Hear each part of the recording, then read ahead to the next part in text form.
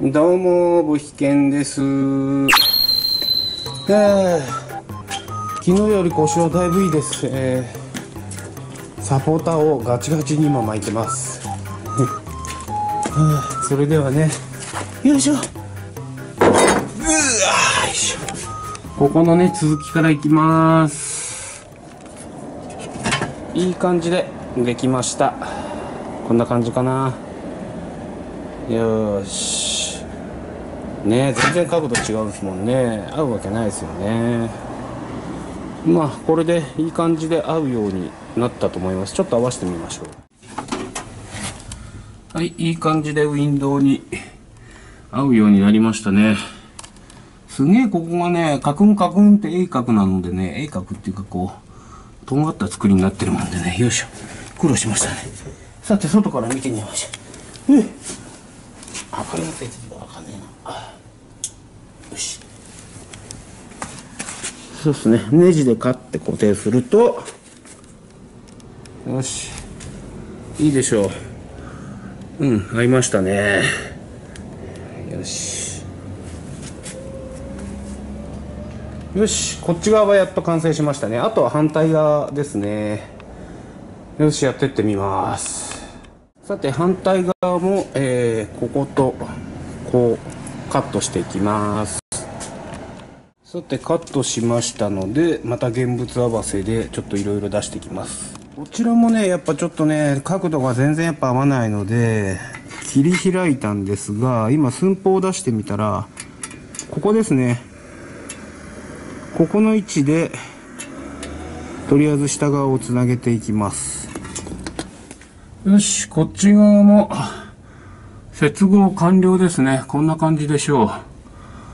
えーこっちの方がね、ここの隙間が広いんですよね。最初にも言ったんですけども、これはもうどうしようもないので、よいしょ。そうだ、もうこれ以上向こうへ行かないんですよ。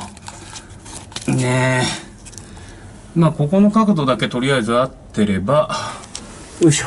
ちょっと見てみましょう、外から。ああ、腰痛いな、もう。はいよしよし。全然良くなりましたね。スポンジかなんかこう貼って、隙間を隠すしかないんだろうな、これはもう。よし、そんな感じでパテに入ってきます。えっと、えー、パテを塗って、今、成形、あの、フェザースでフェザー作って、えー足付けをしたので、えパテを入れてきます。まあまあ重いなえーと、パテ塗ったくりましたね。これでちょっと乾くのを待ちましょう。一日じゃ乾かねえかもなまああの別にこいつは、まあ、あと色塗るだけなので内装屋さんに出した後でも、あの最後最初の完成は構わないと思うのでまあちょっと2日ぐらいで1日で乾くかなもうちょっと待ってみましょうえーとあと残ってるのはシェビーちゃんの作業はなんだ？あそうか。えーと組み立てなきゃならないのとワイパーワイパーの、えー調整ですね。それと、えーなんだフェンダースカートつけたりか。うん。明日は月曜日で休みなので明日ちょっと内装屋さんと打ち合わせに行ってほんで火曜日に残った作業をやればもうこれでほぼ完成ぐらいだな。もう火曜水曜には、えーあじゃあ水曜日には内装屋さんに出せる感じかな。多分でもあこれじゃあすぐ持ってきてくださいとはならないと思うので、まあ、とりあえず明日内装屋さんと打ち合わせをしてみたいと思います。さてそれでは、えー1959インパラちゃんのこのナンバーフレームですね。えー、とここの部分をこっちへ移植っていうのをちょっとやってみましょう。こんな感じですね。よし。これでえー、日本のナンバーの枠にはまります。ちょうどぴったし。そしてナンバープレート自体を加工しなくても一応形にはなったですね。よしちょっと本体に取り付けてみましょう。よし。いい感じですね。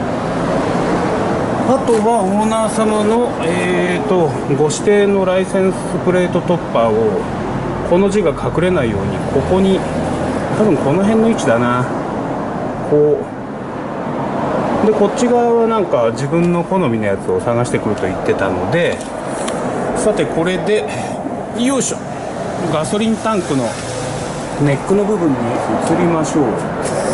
ガソリンのネックなまあこれが一番外なんですけどでこの中におっとっとっとこのホースを使ってえーとオリジナルのここの部分がここにあってタンクなんですよね。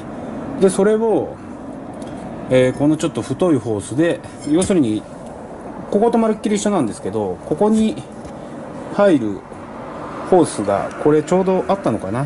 あの前つけた人が誰だか知りませんけどほんで結局だもんでもう簡単に言っちゃうとここに壁があるんですよね。要するに一周。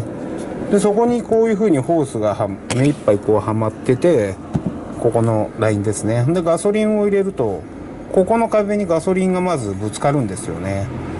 でここからこっちが細くなってるんですけどそれをこうギューって締め付けてたんでしょうけどどうしてもここの壁に溜まったところから漏れてきちゃう。まあこれが劣化してるっていうのもあるんですけどね。漏れてきちゃうっていう感じだと思うんですよね。あのついてたところのガソリンの漏れ方から見るとそんな感じなんですよ。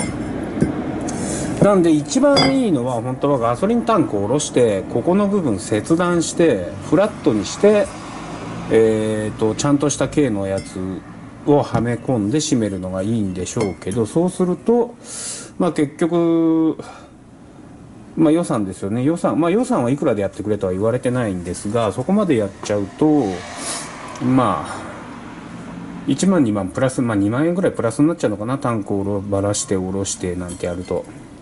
なのでえー、っと確実にここにガソリンが当たらないで中にガスあの燃料が入ればいいのでえー、っと合う径のパイプを差し込んででなおかつここをフレアさせてえー、50杯ぐらいのやつ変換パイプを作ってあげてでえーとそのこっち側にはまるこの部分ですね。この部分もここをちょっと変換させてで真ん中に新品の、えー、まあ、ここを変換したって考えてで変換パイプとかパイプのところでまた、えー、なんだっけホースで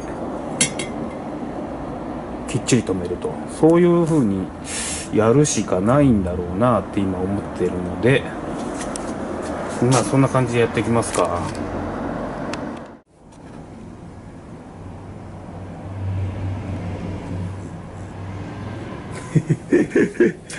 ごめんごめん起こしちゃった？可愛かったもんで。